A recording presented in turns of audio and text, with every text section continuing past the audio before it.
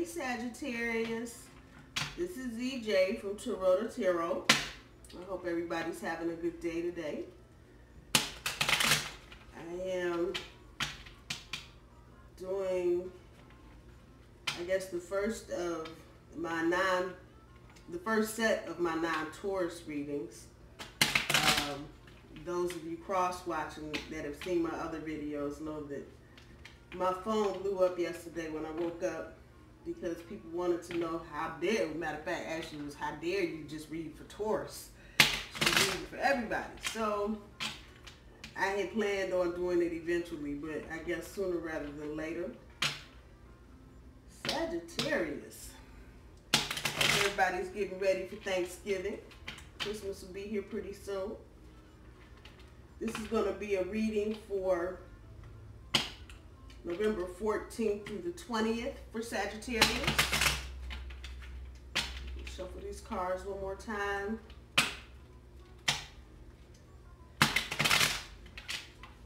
Do a quick five card reading for the week. Let's see what we got going on with Sagittarius. Let me cut my cards.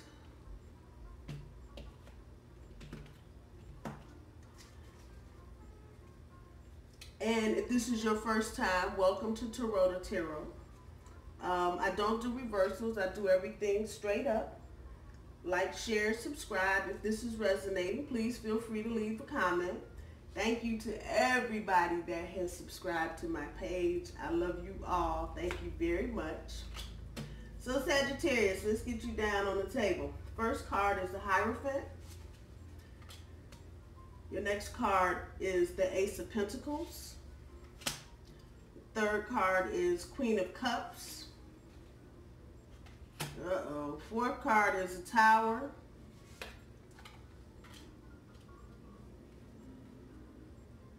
And your fifth card is the Ace of Cups. Your overall energy on the bottom of the deck, Eight of Wands. The Eight of Wands been showing up a lot lately. So let's see what we got going on for you guys for the next seven days.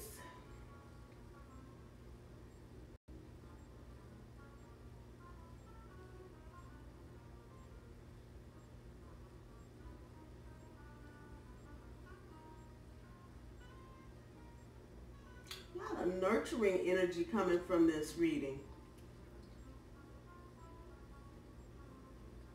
Sagittarius, I don't know if you've been hurt recently or if you've had some kind of trauma in your life, but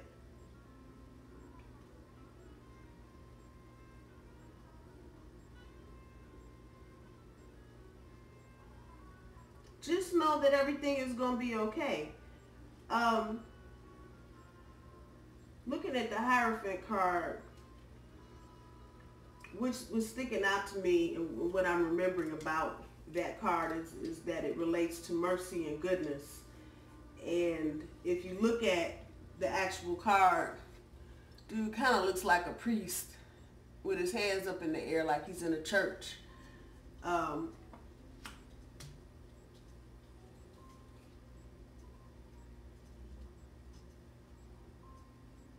yeah, you, you need to forgive somebody, Sagittarius you need to forgive them. Um, and, and it looks like this is what's coming up with today is Tuesday. So we're running this from tomorrow actually through next Tuesday. But the, the energy can be on either side of the week from Sunday, this past Sunday up through next Friday. But you, you need to you need to forgive this person um, and you need to take the beginning, take a new beginning. I don't get the impression that this is necessarily a romantic relationship, but it looks like something that may have had potential to be that way. Um, the tower moment is not so much an actual thing in this reading as it is of you're going to have to get to the point with whoever this person is, you're going to have to get to the point where you tear the whole thing down and start over. That is the only way you're going to get this new relationship with that Ace of Cups. Um, I don't know what you found out. I don't know what you heard. I don't know what this person did to you. But I can feel the pain. I, I, and it's just sorrow. But you need to forgive them. You need to forgive them. Um, I don't think the situation is as dire maybe as you want to think it is in your head, Sagittarius. It really isn't. Um, you, you're going to need to show some compassion.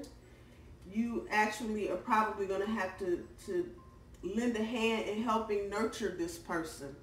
Um, and you're gonna have to get to you're gonna have to get to this point where you recognize that you can have a new relationship with that person whoever it is male or female whatever the energy is um, yeah you you are going to have to do some forgiving and it is you're going you're going to fall out whoever this person is whenever you find out whatever this is because I'm looking at the Queen of Cups.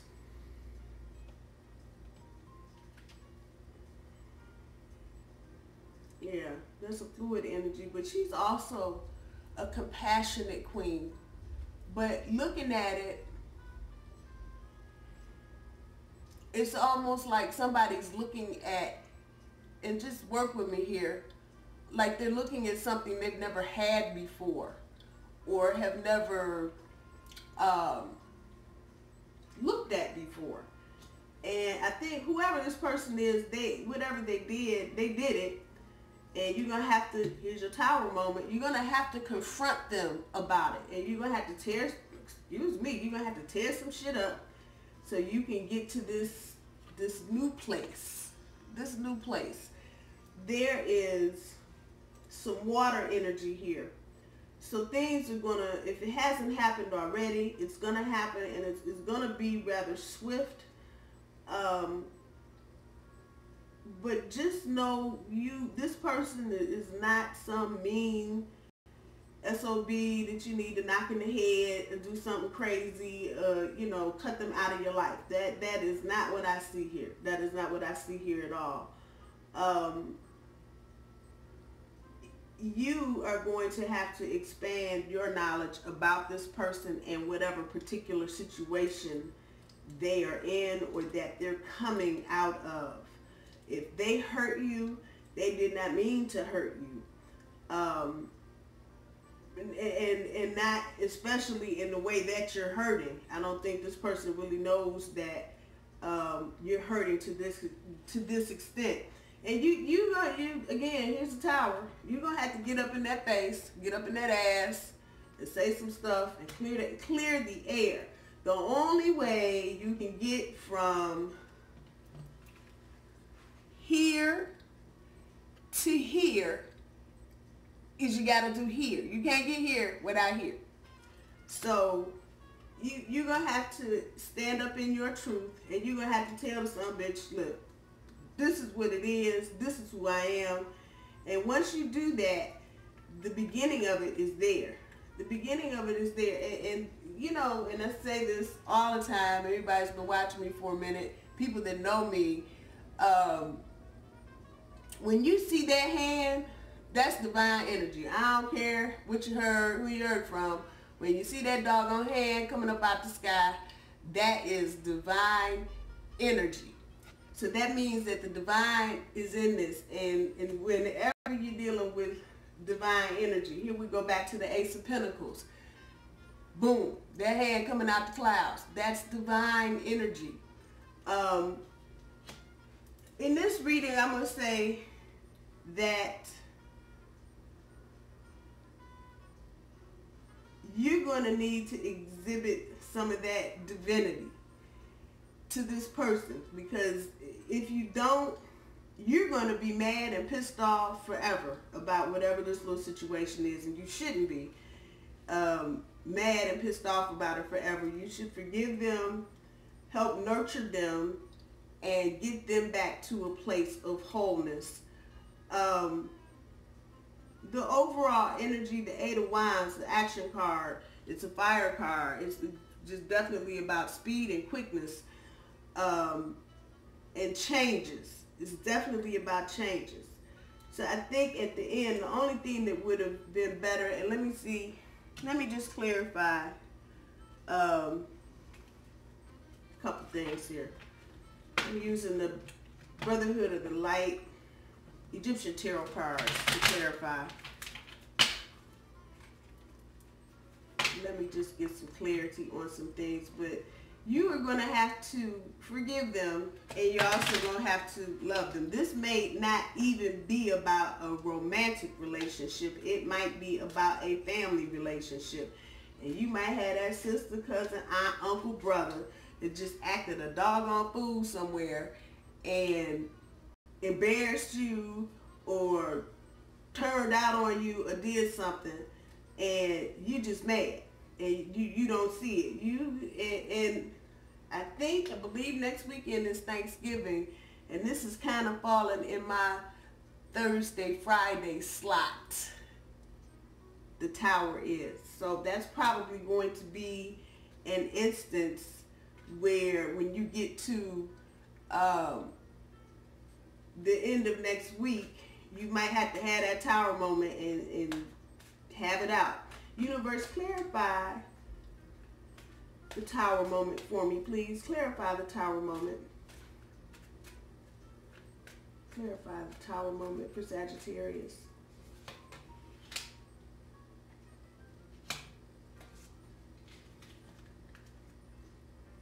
Okay, so I got the Six of Scepters, and that is harmony and balance. Yeah. So you're going to have to have this tower moment so you can bring some harmony and balance back into whatever the situation is. If it is a romantic relationship, the, the same principle and theory applies. Um, let me clarify the Ace of Cups. Universe, clarify the Ace of Cups for Sagittarius, please, for the following seven days. Clarify the Ace of Cups for me, please.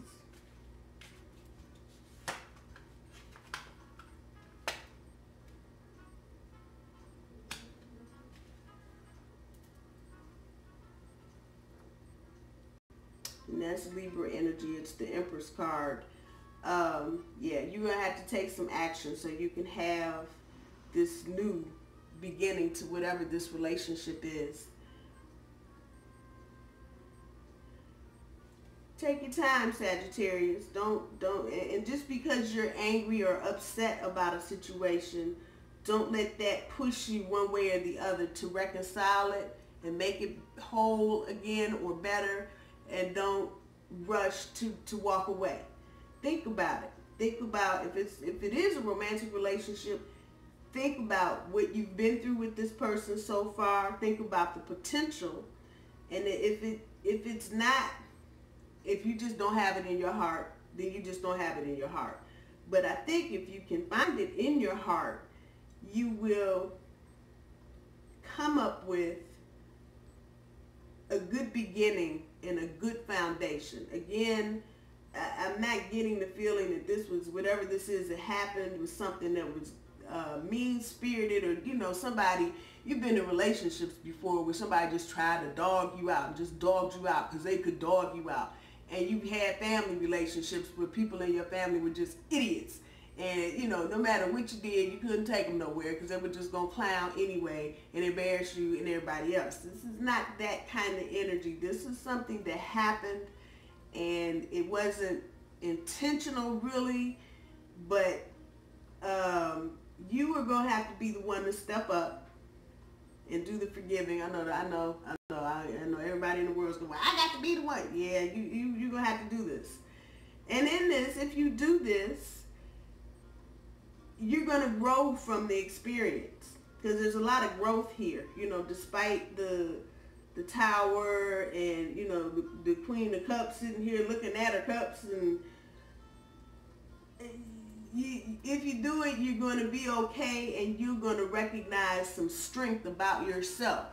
So I'm going to say have the courage to accept the situation as it is. Have your tower moment. If you need to get up in somebody's face and tell them which side the buckwheat the bear set in, do it.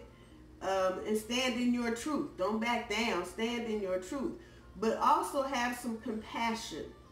Because there's a lot of, I see, I, I just feel it. Even as I say it, I can just feel the need for this person needing your compassion. Give it to them. Give it to them. And sometimes you, you know, you, if it's a romantic relationship, if it's a family relationship, you know, sometimes we have to take the gloves off and get ugly and just tell folks exactly what, who to what and hell. So I'm going to say, stand up in your truth, but have some compassion, show some mercy, and, and throw around some of that goodness you Sagittarians have. You know, I know you guys have it because I have a bunch of Sagittarians in my family. My grandmother, the least of those.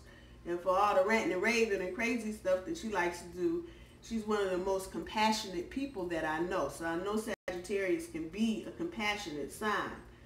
Um, I think once you do that, you will clear the air. You will feel better. The person probably will not feel so guilty about whatever it is that they did or didn't do. And you will be able to walk out on firmer foundation I'm going to leave you reading here, Sagittarius. I hope you guys have a wonderful holiday. I hope you have a wonderful rest of the week and a good weekend. I will certainly see you. Um, I will be doing everybody's reading now every week. But I will certainly see you here next week. I'm wishing you love and peace and happiness. Take care. Bye, y'all.